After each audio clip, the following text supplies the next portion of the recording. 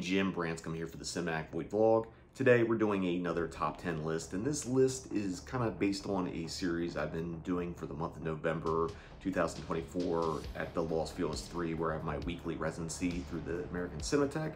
I've been doing a thing called the Art House of Horrors which are basically kind of art house movies with a horror bent.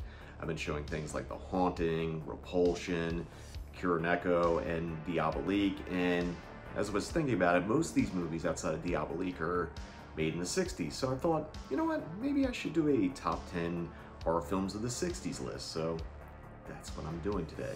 So again, with all these lists, just a couple reminders. One, this is just my personal list. It is not the end all be all. And some of you may agree, some of you may disagree, but if you disagree, don't get mad. Just tell me the movies that you love from the 60s. That's all you have to do. It's I'm not right and you're not wrong, and you're not right and I'm not wrong. It's just opinion. It's just fun. Just enjoy the list for what it is. And obviously, one film per filmmaker, just so there's kind of a variety. I already know I'm probably gonna catch some heat because a certain 60s horror movie, which is a landmark classic, is not going to make this list, and I'm going to give my reasons why I don't I'm not, I'm personally not putting it on there. I think it's a great film, but you know, with all my lists, there's got to be some controversy. There's got to be some things where people are like, "What do you mean that's not on the list?" And it's called cinematic void for a reason. But anyway, let's get into my top 10 horror films of the 60s list right now. Coming in at number 10 on my 60s horror film list is a film from the former Soviet Union. It is called Viy, and it's one of the most unique, really cool, really visually interesting kind of horror movies ever made. For those you haven't seen, basically a priest is kind of forced or, you know, given the task of staying in a tomb of a recently deceased witch for the next three nights to make sure, you know, everything goes well. And, well, it gets pretty spooky there. This is one of the great kind of folk horror movies. Really cool, really unique, really great monsters. Like, if you want kind of a point of reference somewhere around, like, you know, something like Valerie and her Week of Wonders and a little bit of the Japanese film House. Kind of mix those two together and get kind of what Viy is. Number nine on my 60s horror film list is quintessential one of the classic 60s horror movies. I'm talking about Eyes Without a Face. It is a French film, and for those who haven't seen it, basically a brilliant surgeon ends up disfiguring his daughter, and because he's so like heartbroken and upset, he's just trying to do everything within his power to fix her, including kidnapping women and trying to perform face transplants on his daughter so she has a brand new face and, well, doesn't go too well. This is a very eerie and creepy horror movie. It's, again, it's one of the 60s classics and if you're definitely looking for a good starting point of 60s horror, if you haven't been really watching stuff, I think Eyes Without a Face is a great place to start. I do want to mention that when this film was originally released in the US, it was called the the horror chamber Dr. Faustus, which kind of made it sound like some schlocky, really B movie. In fact, it was paired on a double bill with a movie called Manster because it was half man, half monster. Wouldn't that just make it a monster? Anyway, definitely don't watch that version of the film. Seek out the original Eyes Without a Face. At number eight on my 60s horror film list is the movie that pretty much got me into horror movies and, you know, becoming a cinephile in general. It is 1968's Night of Living Dead, directed by the great George A. Romero. This is a very important movie to me. I did an episode of In the Mouth of Cinemadness where I talk about how I discovered this movie and the impact it had on me. I kind of had this at different places on this list. I had it higher, I had it lower, and, you know, kind of thinking like I don't know where to rank it, but I do know it belongs on my personal top 10 60s horror film list. It is a landmark movie. It basically set forth what became the modern zombie film. And again, I can't overstate how important this movie is to me personally and to the horror genre just in general. Coming in at number seven on my 60s horror film list is a movie directed by Half the Archers. The Archers were a filmmaking duo of Michael Powell and Emeric Pressburger, who directed things such as The Red Shoes and The Tales of Hoffmann, but they eventually split up, and Michael Powell made one of the great 60s horror movies, which is Peeping Tom. If you haven't seen it, it's about a really creepy kind of young man that likes to take his film camera out and stab women with the tripod leg and film their death. And this movie came out in 1960. It came out the same year as Alfred Hitchcock's Psycho, But unlike Psycho, which became a landmark horror movie, Michael Powell had his career ruined over this movie. People were like, this is vile, this is violent, and all these things. And like Hitchcock was kind of worried he was going to get the same thing when Psycho came out because he was like, I think I'm kind of paraphrasing the quote, but he's like, look at what you did to poor Mikey Powell with Peeping Tom. What are you going to do with me with Psycho? And it's kind of the reason why I put Peeping Tom on this list and I didn't put Psycho. I think Psycho obviously is a landmark 60s horror film. You know, no one's going to debate that. It do I need to put it on my list? Because you already, most of you probably already have it on your list, but I, I just want to champion Peeping Tom a lot more. It's visually beautiful, it's creepy, it's really messed up, it's really dark and progressive, especially for a 60s horror film. So if you haven't seen Peeping Tom, there's a Blu-ray in the Criterion Collection. If you go to the art houses or have a repertory theater, ask them to play because there's a beautiful restoration that you can, you know, see on the big screen. Definitely check out Michael Powell's Peeping Tom.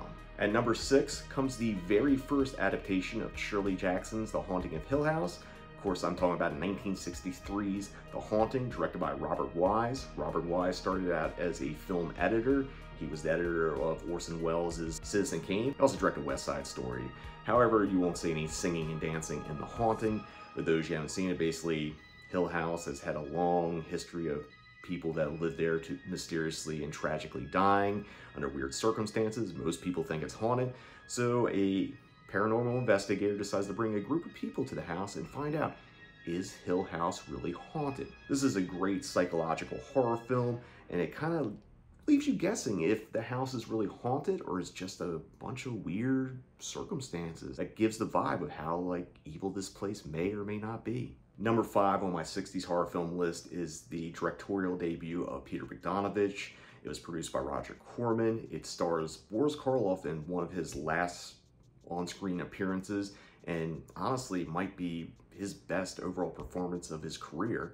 The movie was co-written by Polly Platt, who was also the set decorator on the movie. I'm talking about 1968's Targets. For those you haven't seen the movie, basically there's a young man that keeps telling people there's something wrong in his head and he goes out, buys a bunch of guns, kills his family, and then starts going on a killing spree that culminates at a drive-in movie theater where this aging horror icon, played by Karloff, is making his last public appearance.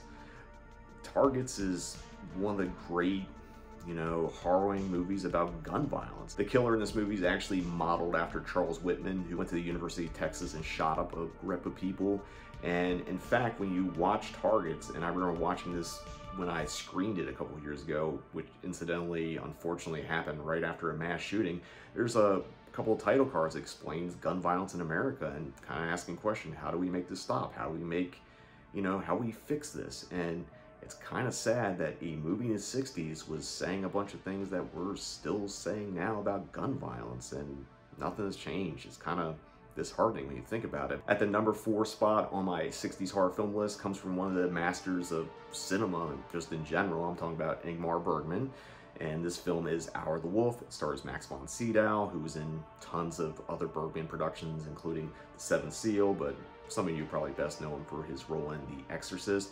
Also stars another Bergman regular, Liv Ullmann, who is in one of the all-time just great movies ever made, Persona. For those who haven't seen it, basically an artist goes to a remote island with his pregnant wife and starts kind of succumbing to like these weird primal urges and like sinister thoughts and kind of starts hallucinating and kind of drifts in madness. There are tons of creepy elements in this movie. Famously, there's a shot of an eyeball cocktail that will just make your skin crawl. One of the great, great just films, let alone horror films of the 60s in general. At number three on my 60s horror film list is one of the most influential horror movies ever made. Psychological horror, done its best. I'm talking about Repulsion, starring Catherine Deneuve.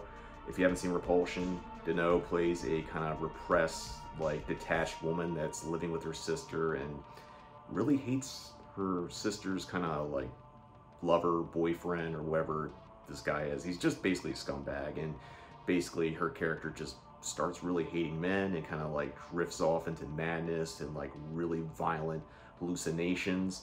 There's thousands of imitators of this movie and honestly, no one has ever come close to touching the dread, the horror, the psychological damage you'll get from watching Repulsion.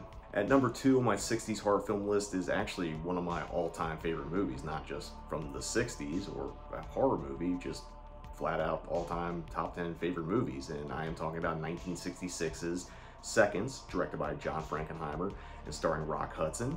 Very against type if you're used to seeing Rock Hudson in movies with Doris Day or the melodramas he did with Douglas Sirk. This certainly isn't it. This film is beautifully shot in black and white by James Wong Howe, one of the greatest cinematographers to ever step behind a camera. And there's some crazy visuals in the movie, including a insane opening credit sequence by the great Saul Bass, who did posters and opening credit sequences for Alfred Hitchcock and Stanley Kubrick, and of course directed Phase 4. For those who haven't seen Seconds, basically a middle-aged man is just very unhappy with his life. He gets a call from a friend of his that he thought was dead, who basically tells him, you can have a second chance. Get it? That's why the movie's called Seconds, you know, second chance. And he agrees, he pays a bunch of money, they fake his death, they give him plastic surgery, just make him a completely different person. Goes from a frumpy middle-aged man to Rock Hudson and give him this life as a artist in Malibu. And, you know, as much as he thinks he has the life that he always wanted and this great second chance, kind of screws it up and kind of realizes the life he had wasn't really that bad. This is a movie filled with dread. I personally really love watching movies where people just seemingly go out of their way to fuck up their life and make it worse. And Seconds is definitely one of those movies. So yeah, number two on my list, John Frankenheimer's Seconds. And for number one on my 60s horror film list is not only the number one for this list, it is my all-time favorite film. This is a movie that means a lot to me. In fact, I have a tattoo of the main character, Mary Henry from the movie. I know it's upside down, but you know, bear with me. I mean, I can flip it real quick or something. Anyway, I'm talking about Herk Harvey's Carnival of Souls.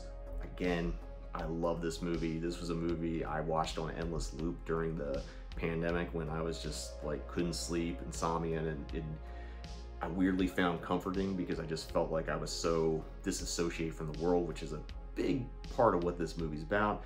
For those who haven't seen Carnival of Souls, and I know kind of hit some of the themes, basically a woman is in a tragic car accident that she shouldn't have survived.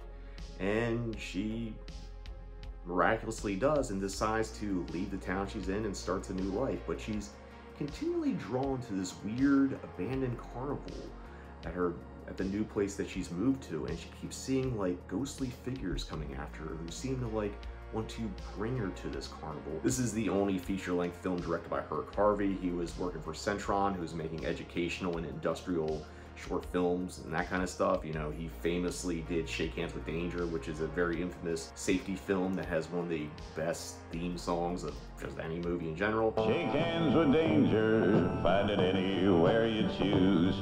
Be careless for a moment, spend a lifetime with the blues. And he also directed the original Halloween safety film. Carnival Souls is basically centered around this great otherworldly performance by Candace Hilligoss as Mary Henry. It's just, there's just something broken and lost within her character that just really resonated with me. And, you know, this is a movie that I will continually go back and rewatch over and over again. And if you do get a chance to see it in a movie theater on film, I showed this back in 2022, and it was probably one of my favorite in-theater experiences, just watching that movie projected on screen on celluloid. It, it was like basically really a religious experience. This movie does what all great art should do. It should move something in your soul, and Carnival Souls does that, and that's why it's my number one pick for 60s horror films, and also why it's my all-time favorite film. So that's gonna wrap up my top 10 60s horror film list. Again, sound off the comments, tell me what you think about the list, and